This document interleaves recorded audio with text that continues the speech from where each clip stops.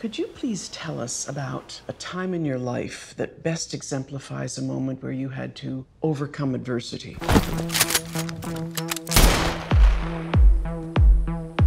What's the worst that we I think when people say, in my day, they knew when they were in their day, this is our day. We're in it. Do you ever think about leaving Clearview? Everything I love is here. Everything.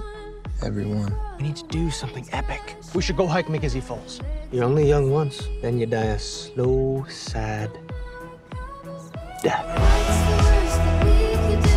Pass the line we never crossed. Have we done it?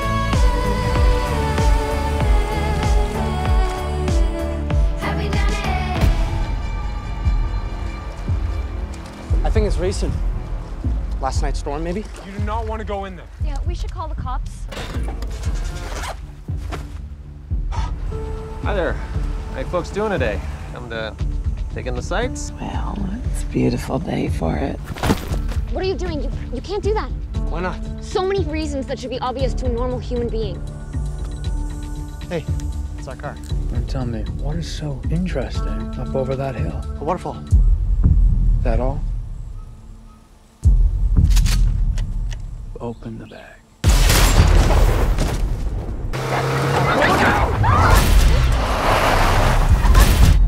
Come on. Rise and shine. You ready to talk? That's on you. Where am I? You're alive. Whether you say that way is up to you.